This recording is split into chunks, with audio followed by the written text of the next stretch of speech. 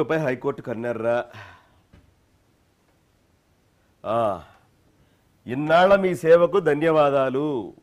ఆనంకు వైసీపీ అధిష్టానం మెసేజ్. గడప గడపలో నేదురుమల్లిని ఫాలో కండి. నియోజకవర్గ అధికారులకు ఆదేశాలు. మొత్తానికి ఆనం రామనారాయణ రెడ్డి గారికి షాకుల మీద షాకులు అయితే ఇస్తా ఉన్నారు జగన్మోహన్ రెడ్డి గారు. ఆయన చేసింది ఏందయ్యా అంటే మా వాళ్ళ ప్రభుత్వంలో ఏదైతే జరుగుతూ ఉందో దానిపైన మాట్లాడడం. మేము ఒక రోడ్డు కూడా వేయలేకపోతూ ఉన్నాం. ఒక ప్రాజెక్టు కట్టలేకపోతా ఉన్నాం. ముందస్తు ఎన్నికలు వెళితే మేము ఓడిపోతాం. మా పాలన సరిగా లేదు అని ఆయన ఏవైతే ఇటీవల కొన్ని వ్యాఖ్యలు చేశారో అప్పటి నుంచి ఆయన పైన టార్గెట్ పెట్టారు. ఆల్రెడీ నియోజకవర్గ ఇన్ఛార్జ్ వెంకటగిరి. ఆ పదవి పీకేశారు. పీకేసి నేదురుమల్లికి నేదురుమల్లికి ఇవ్వడం జరిగింది రామ్ కుమార్ రెడ్డి అనుకుంటా? ఎస్. ఆయనకి ఇవ్వడం జరిగింది. అంతటితో ఆగకుండా ఇక మీరు గడప గడపకి తిరగొద్దు. ఇప్పటిదాకా మీరు తిరిగిన దానికి ధన్యవాదాలు. మీ సేవలకు చాలు అని ఒక మెసేజ్ పంపించి ఇక నుంచి నేదురుమల్లి గడప గడపకు తిరుగుతారు. అధికారులంతా ఆయన్నే ఫాలో కావాలని ఆదేశాలు జారీ చేశారు. అంటే ఇక నువ్వు వెళ్ళిపో డైరెక్ట్గా అయిపోయింది ఈ ప్రభుత్వంలో అని చెప్పేశారు. దాదాపు మూడు దశాబ్దాల పాటు నెల్లూరు జిల్లా రాజకీయాలను కంటి సైగతో శాసించిన ఆనం కుటుంబానికి ఇప్పుడు అడుగడుగున అవమానాలు ఎదురవుతున్నాయి. రాష్ట్రమంతా వైసీపీ సిట్టింగ్ ఎమ్మెల్యేలే ఆ నియోజకవర్గ ఇన్ఛార్జీలుగా కొనసాగుతుండగా అందుకు భిన్నంగా వెంకటగిరిలో మాత్రం నేదురుమల్లి రామ్ కుమార్ రెడ్డిని ఇన్ఛార్జిగా నియమించారు. ఆనంద్తో మాట మాత్రంగా కూడా సంప్రదించకుండా వైసీపీ ఈ నిర్ణయం తీసుకుంది. అంతటితో ఆగకుండా ఆనం మాటకు విలువ ఇవ్వాల్సిన పని లేదు. నేదురుమల్లి రామ్ కుమార్ మాట వినండి అని జిల్లా ఉన్నతాధికారులను పార్టీ పెద్దలు ఆదేశించారు. ఆ వెనువెంటనే ఆనం వ్యక్తిగత భద్రతా సిబ్బందిని కుదించారు. ఇది కూడా చేశారు. భద్రతా సిబ్బందిని కూడా తగ్గించేశారు.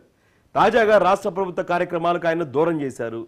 గురువారం ఆనం రామనారాయణ రెడ్డికి రాష్ట్ర పార్టీ హైకమాండ్ నుంచి ఒక సందేశం వచ్చింది. ఆ సందేశంలో ఏముందంటే గడప గడపకు మన ప్రభుత్వ కార్యక్రమానికి ఇంతకాలం మీరు సహకరించినందుకు ధన్యవాదాలు అని ఉన్నట్లు వైసీపీ వర్గాలు ప్రచారం చేస్తున్నాయి.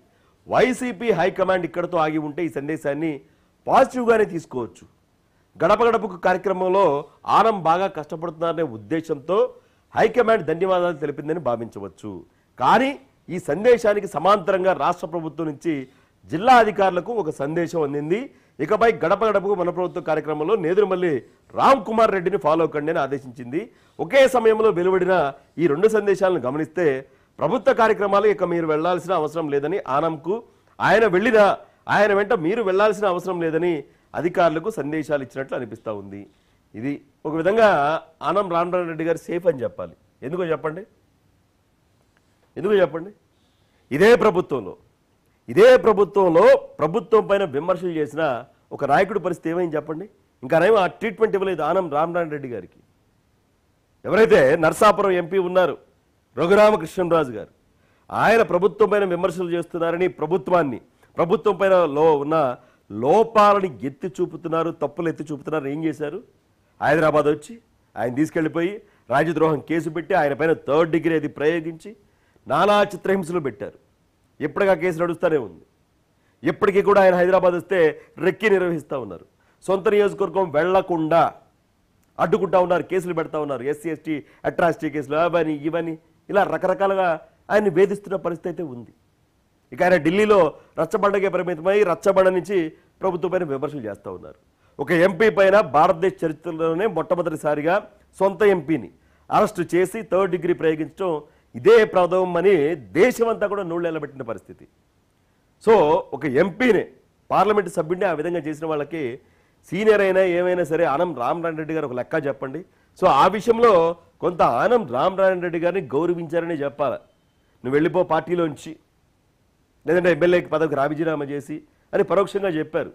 ఆయన పైన కూడా ఏదైనా రాజద్రోహం కేసు థర్డ్ డిగ్రీ పెట్టే పరిస్థితులు ఉండేవేమో మరి. గత అనుభవాల దృష్ట్యా. సో కొంతలో కొంత గుడ్డిలో మెల్లలాగా సేఫ్ అనే చెప్పాలి. ఆనం రామనారాయణ రెడ్డి గారు మరి ఈ పరిస్థితితో ఆయన మరి ఎలాంటి రాజకీయ నిర్ణయం తీసుకుంటారు? మరి ఏ పార్టీలో జాయిన్ అవుతారు? లేదంటే ఇక రాజకీయాలకు స్వస్తి చెప్పి. ఎందుకంటే ఆయన అన్ని సంవత్సరాల పాటు మంత్రిగా పనిచేశారు సీనియర్ నాయకుడిగా ఉన్నారు. బహుశా ఈ మూడున్నరేళ్ళ కాలంలో ఆయనని ఎదుర్కొన్నన్ని అవమానాలు ఎవరు కూడా ఎదుర్కొని ఉండకపోవచ్చు.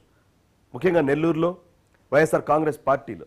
సో మరి ఆయన రాజకీయ ప్రయాణం ఏ విధంగా ఉంటుంది ఏంటి అనేది చూడాలి. ఇవి మొత్తంగా